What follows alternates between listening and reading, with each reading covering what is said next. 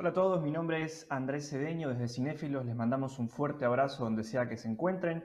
En esta oportunidad tengo el privilegio de poder conversar con Leandro Fernández, un artista argentino conocido por sus trabajos para Marvel, Image, Vértigo, entre tantos otros. Leandro, ¿cómo estás? Un gusto poder saludarte. ¿Qué tal? Un gusto, ¿cómo estás? Muy bien, eh, la verdad que antes de, entrar en tema, eh, la vieja guardia, quisiera un poco, eh, permitís, revisar un poco tu, tu carrera a lo largo de la industria del cómic argentina. Yo estuve un poco investigando, leyendo sobre, sobre tus trabajos y me figura que una de tus primeras colaboraciones para Marvel fue en el año 98, un cómic de X-Men, de X-Factor. ¿Es correcto esto? ¿Te recordás?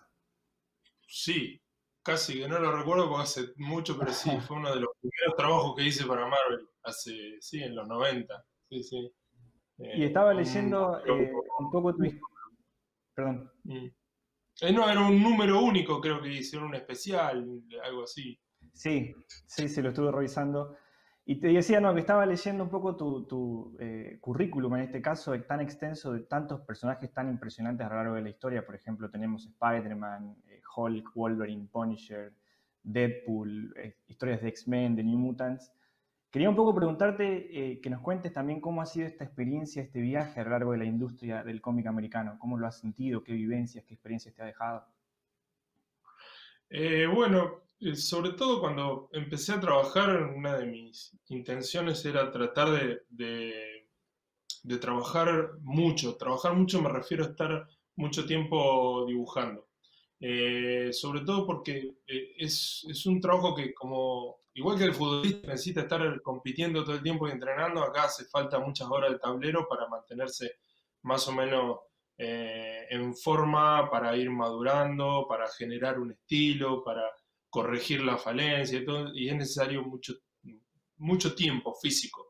Eh, hacer una historieta lleva mucho tiempo, o sea, contar una historieta mensual de 20 páginas en realidad es un esfuerzo enorme y, eh, entonces es, es, muy importante lograr esa, esa sinergia de, de, poder, digamos, vivir de esto, porque necesitas estar full time dibujando para, para lograr eh, poner en marcha el barco, digamos. Y bueno, y eh, es por eso que en un principio, porque estamos hablando cuando yo empecé a trabajar, me nombraba X Factor, eso fue en los 90, los primeros trabajos que hice yo lamentablemente tuve que empezar a pensar en trabajar para afuera porque eh, si bien Argentina venía de tener una industria de la historieta importante, donde acá se publicaban muchas cosas hechas acá, donde venían autores a trabajar a Argentina, como es el caso del famoso Hugo Pratt, eh, él comenzó su carrera y se desarrolló en Argentina, estuvo viviendo acá mucho tiempo y, y no era el único caso, hubo mucha gente que vino acá y se producían muchas cosas. Mi generación somos los que crecimos leyendo esas, esas revistas, pero bueno, cuando llegó el, momento en el que teníamos que empezar a pensar de qué forma trabajar, había una crisis enorme en Argentina y esas publicaciones se estaban dejando de hacer, entonces empezamos a, mirar para trabajar para afuera, para justamente lograr un caudal de trabajo suficiente como para, para estar activos. Yo empecé trabajando para ¿Cómo, perdón? Para establecer un poco también tu impronta, tu nombre, hacerte conocer también. Sí, seguro. Eh, yo empecé trabajando para, una revista de Italia que se llamaba eh, Intrépido de, la editorial Universo y ahí empecé a hacer las primeras historias. Y después, bueno, empecé a, a viajar a Estados Unidos a ver si podía conseguir trabajo allá, pero como digo, justamente a raíz de la carga cultural que tenemos los dibujantes argentinos, eh, que está un poco relacionado con, la historieta italiana, eh, eh, era como que quería ver la forma de hacer eso que sabía hacer o, que, o que, mejor sabía hacer, mejor dicho, en la historieta, en la industria norteamericana. Y es por eso que, bueno, yo comencé con Marvel y tuve la oportunidad de dibujar varios personajes muy populares de Marvel. Pero si, si te fijas, eh, eh, donde más tiempo estuve establecido fueron personajes que no, tienen justamente la estética del superhéroe clásico. Bueno, justamente a eso, quería, quería ir avanzando, perdón que te interrumpa. Este, haciendo justamente un flash forward hacia uno de tus proyectos más recientes, que es justamente La Vieja Guardia, quería consultarte cómo te llega la propuesta de dibujar para esta historia. ¿Conocías algo de la historia? ¿Conocías tal vez al escritor Greg Ruca de algún proyecto previo? ¿Cómo arranca todo? ¿Cómo es el, principio de todo esto? Claro, con Greg hicimos eh, un primer trabajo en el año, lo empezamos en el 2001, que se llamó Queen and Country, que es justamente una historia de espionaje o sea, es por eso que te decía que en realidad siempre estuve un poco alejado de la estética clásica del superhéroe, porque después trabajé con él mismo, hicimos otro libro, un Wolverine, pero la estética de ese Wolverine no es el Wolverine eh, vestido como superhéroe, sino que está vestido de calle, digamos, y, y además una historieta de aventura que de superhéroe. Eh, y así fue, fui eh, trabajando en, en, esa línea. El personaje que más tiempo desarrollé de los, de los, populares fue Punisher. Pero, por ejemplo, el Punisher lo dibujo en una época, en un periodo largo, que lo, ah, eh, lo escribe Garth Ennis, y, y se hace como una sección aparte dentro de Marvel que se llamaba Max, que eran títulos para adultos. Y el Punisher también no tiene una estética de superhéroe, sino que es un tipo que está vestido con ropa de fajina, lo único que tiene es la remera con la, calavera clásica en el pecho.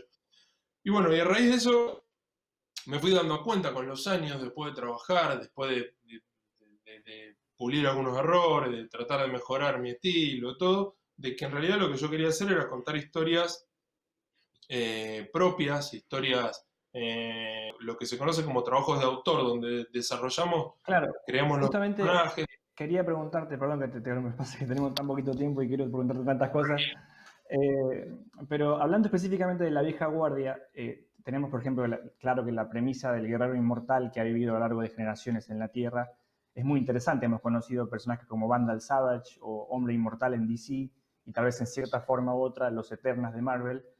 Eh, por nombrar algunos, ¿no? Pero, ¿qué crees que es lo que verdaderamente diferencia eh, o destaca esta historia de Old Guard con historias similares? Claro. Eh, bueno, cuando Greg me, propone hacer esto, o sea, Greg me, invita, pues ya te digo, habíamos trabajado con Greg antes, yo ya estaba, te, lo cuento brevemente, hacía varios años haciendo proyectos de autor, cuando llega Greg y me cuenta la idea, dice, vamos a hacer, te, gustaría hacer una historia de acción con inmortales. ¿Qué te parece? Me dijo eso nada más. Pues, los detalles lo vimos después. Le dije, sí, lo quiero hacer.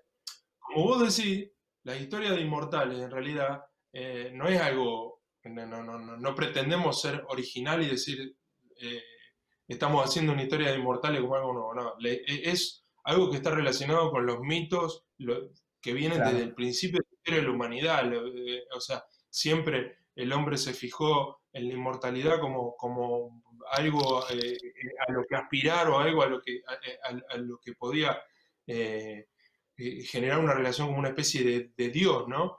Bueno, una de las cosas que me pareció es que incluso hay muchas historias que son muy interesantes, yo pensaba desde el punto de vista de la historieta, lo había pensado más, por ejemplo, en relación a Gilgamesh, que fue lo que se hizo acá en Argentina, y, y ya te digo, tantas otras. Me parece de que de la forma en que después, cuando empezamos a profundizar en, el planteo de los personajes, la situación en la que están y todo, ya tiene otra mirada porque los últimos tiempos han cambiado mucho. Y una de las cosas que, por ejemplo, a mí personalmente me, eh, me llamó la atención como para plantear esta historia, es que por primera vez en la historia eh, de la humanidad, no sé si la inmortalidad, pero sí se ya está hablando eh, a nivel científico de prolongar la vida humana más allá de los límites biológicos. O sea, y hay estudios, y se dice cosas, o sea, con sustento científico, o sea, no, no, ya deja de ser una ficticia. Entonces digo, y, eh, o sea, hay una relación en la historia que queremos contar con eso. Eh, entonces, me pareció interesante una mirada de eso por un, por un, punto de vista de ese sentido y por el otro punto de vista es que, bueno, obviamente eh, ellos se tienen que mantener eh, eh, en el anonimato porque, a ver, estamos hablando que si se supiera de algo así sería algo que obviamente llamaría mucho la atención, y lo difícil que es hoy en día tener un perfil bajo, estar fuera del radar. Digamos. Entonces, me parece que en este momento contar una historia así es muy interesante. Muy bien. Bueno, Leandro, la verdad que lamentablemente, como te digo, teníamos tan poquito tiempo. Me encanta, me encantó poder hablar contigo sobre estos temas. Un fanático del cómic eh, toda mi vida. La verdad que felicitarte mucho por el trabajo. Vi la película y es, la verdad que muy entretenida. Escenas de acción muy buenas. Viste, no, no el, típico CGI eh, en acción que por ahí es medio aburrido y te das cuenta que no es tan real. Acá la verdad que es un trabajo de acción increíble. Créeme porque lo vi en el set acá hay gente que pone mucho en cámara. Eh, sí, eh, tengo entendido que incluso hubo gente que, ha terminado con lesiones. Eh, sí, incluso estamos hablando de, los miembros del casting, los actores, porque es una película que muy física. O sea, justamente cuenta una historia que considero que, que es muy interesante pero a la vez está contada en un entorno de mucha acción, donde, donde no para, eh, no es que no para un minuto, tiene un ritmo muy interesante la historia. Eh, y es muy visual y es muy surtida visualmente. Como es de Inmortales, tenemos eh, diferencias de tiempos históricos, muchas localizaciones distintas geográficas. Visualmente es muy rica. Eh, la película es, me, parece que, a la audiencia en ese sentido puede esperar eh, pasar un buen rato. Eh, un buen rato, la verdad que sí. Nuevamente, Leandro, gracias por haber hablado con nosotros, felicitarte por el trabajo, recordar a todo el mundo que la pueda ver en Netflix en estos días. Y nada, muchas gracias por este tiempo, Leandro, que estés muy bien. Bueno, muchas gracias a vos, saludos, saludos a la audiencia. Hasta luego.